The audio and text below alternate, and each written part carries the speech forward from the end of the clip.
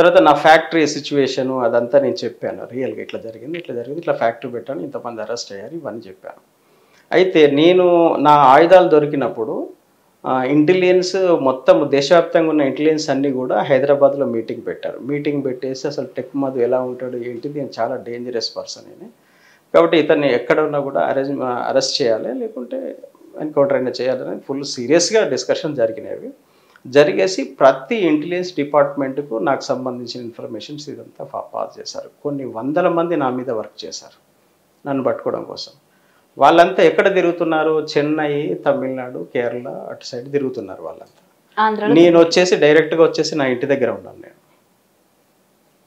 వాళ్ళు తిరుగుతున్నది అక్కడ.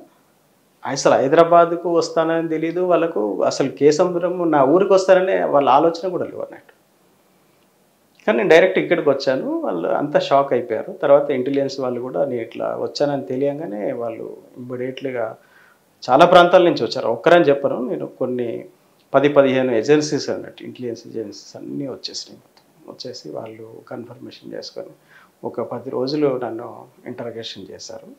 ఆ పది రోజుల తర్వాత యాక్చువల్గా సరెండర్ చూపెట్టారు. అయితే అప్పటికి అడవిలోకి వెళ్ళిన తర్వాత ఏంటంటే ఎన్కౌంటర్ చేయడం కోసము దాదాపు ఒక రెండు వందల మందిని ఫోర్స్ని దింపారు అక్కడ.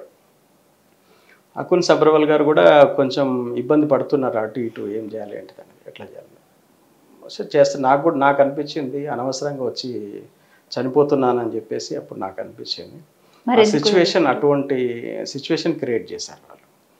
తర్వాత ఏమైందో ఒక జస్ట్ ఒక పది నిమిషాలలో అతని ఆలోచన మారిపోయింది. మారిపోయి ఏదో ఫోన్లు బాగా ఫోన్లు మాట్లాడు టెన్ మినిట్స్ బాగా కంటిన్యూ ఫోన్లు మాట్లాడు హెడ్ క్వార్టర్ నుంచి ఇమ్మీడియట్లీగా అతన్ని హెడ్ క్వార్టర్కి తీసుకురండి అని చెప్పన్నారు. బహుశా ఈ హెడ్ క్వార్టర్కి వచ్చిన తర్వాత నా నుంచి కావాల్సిన ఇన్ఫర్మేషన్ అంతా సేకరించిన తర్వాత మళ్ళీ తర్వాత చంపేద్దాం అనుకున్నారా ఏంటో తెలియదు హెడ్ క్వార్టర్కి తీసుకొని వెళ్ళారు. తీసుకొని వెళ్ళిన తర్వాత తమిళనాడులో తేజ న్యూస్ ఉంటుంది అక్కడ.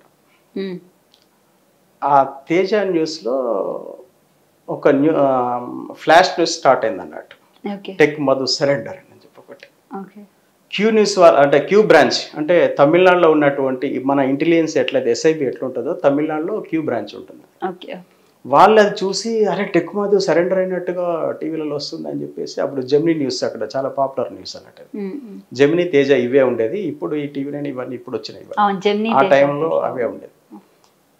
ఇమ్మీడియట్గా ఇక్కడ ఇంటెలిజెన్సీ వాళ్ళకు తెలిసింది రిపోర్ట్ అదే టైంలో సౌమ్య మిశ్రా గారు ఇలాగనే మీలాగనే కూర్చొని అడుగుతున్నారు. నేను మాట్లాడుతున్నా ఒక కానిస్టేబుల్ వచ్చేసి చెప్పాడు మేడం తమిళనాడులో క్యూ న్యూస్లో మన తేజ న్యూస్లో ఫ్లాష్ న్యూస్ వస్తుందంట మేడం అని చెప్పాను ఆమె షాక్ అన్నట్టు అరే ఇట్లా ఇప్పుడే కదా ఈయన వచ్చేది వచ్చి కూడా గంట అవ్వలేదు కదా అట్లా ఎట్లా తెలిసింది అన్న అంటే నాకు తెలియదు మేడం ఎట్లా వచ్చింది కానీ మేము వచ్చేటప్పుడే ఒక ఇన్ఫర్మేషన్ ఎట్లో మా నెట్వర్క్లో మేము ఇచ్చేస్తాం కదా మా సేఫ్టీ మేము చూసుకుంటాం. ఎప్పుడైతే ఫ్లాష్ న్యూస్ వస్తుందనేది ఆ న్యూస్ నా చెవిలో పడిందో అప్పుడు నేను కొంచెం టెన్షన్ ఫ్రీ అయిపోయాను. బహుశా ఇంకా నన్ను ఎన్కౌంటర్ చేయకపోవచ్చు అని చెప్పేసి అనుకుంటాను అట్లా కంటిన్యూ. ఆ తర్వాత వీళ్ళకి ఏంటంటే డిపార్ట్మెంట్ కూడా సరెండర్ ఇంత ప్యూర్లీగా వచ్చి నేను సరెండర్ అయ్యాను. వాస్తవానికి నన్ను అరెస్ట్ చూపించకూడదు. కానీ అచ్చంపేట పోలీస్ స్టేషన్లో అరెస్ట్ చేశారు. అంటే దీన్ని బట్టి మనకి ఏమనిపిస్తుంది అంటే వాళ్ళు వాళ్ళ కోరిక ఏదైతే అది తీరలేకపోయింది ఆ టైంలో. తీరలేదు కాబట్టి అరెస్ట్ చేసి జైల్లో పెట్టేద్దాం అని చెప్పేసి తీసుకెళ్ళి అరెస్ట్ చేసి పెట్టారు. ఫస్ట్ టైం సరెండర్ అయినటువంటి వ్యక్తిని అరెస్ట్ చూపెట్టడం అనేది ఎస్ఐబి చరిత్రలో బహుశా నేనే కావచ్చు.